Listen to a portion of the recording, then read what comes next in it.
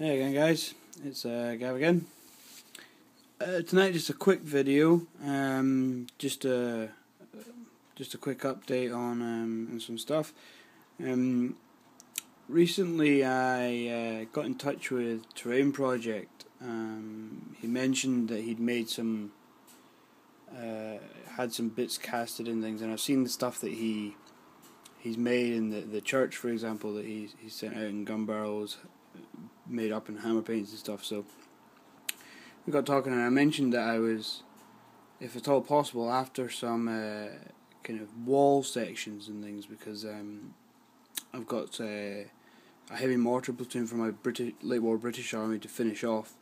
Um, but I've stalled a bit just because I kind of put a bit too much effort into the base on the first one. I never was able to quite replicate, and uh, so he very kindly was able help out. So I'll show you in a minute what with what, but this is kind of what I'm trying to achieve. So here's the first base I made, and I was really pleased with it, but it's, uh, the walls were made from plastic card and things, and it just took ages to build, and I just didn't have the energy to, to do it again. So it was double layers of plasticard, scored with with scored with a brick pattern, um, and double layers put in so that, for example, here you can uh, see the kind of inner wall bricks and then sort of a plaster effect just applied with filler on the outside.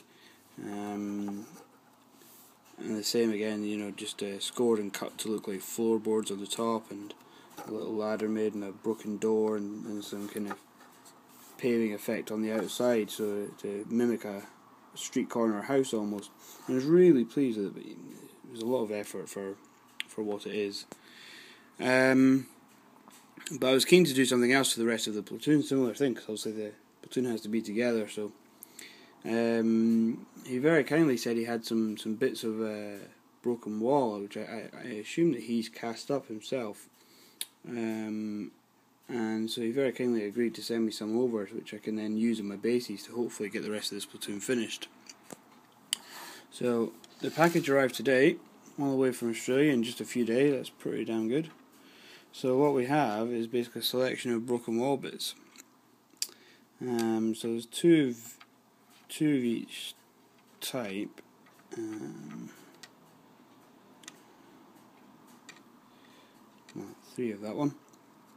So, and these are really, really nice. I mean, these are if you if you sculpted if you sculpted these yourself, mate, these are fantastic. Honestly, um, so we've got a wall section that's uh, sorry, these two go together the same bit there just to, with the wall section with a tarp over it and a, a, wheel behind it. Another corner section with lots of broken broken brick around and things.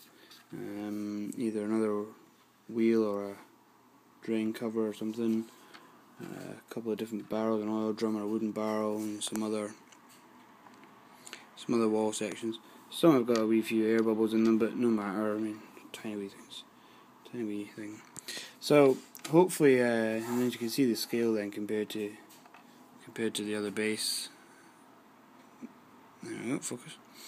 Uh, it looked really good. So yeah, I'm really looking forward to it. It's kind of driven me to get. That's one of the few units I've got to finish for this uh, British Army. Actually, it's just the rest of this platoon, the three other barrels.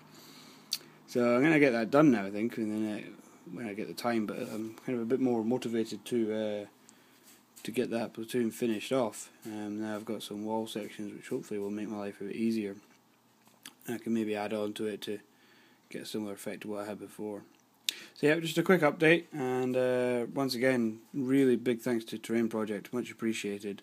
Um, I'll make sure that they, they get put to good use, and I'll be sure to to show you the uh, fruits of my labours. Um, Alright, until the next one then. Cheers.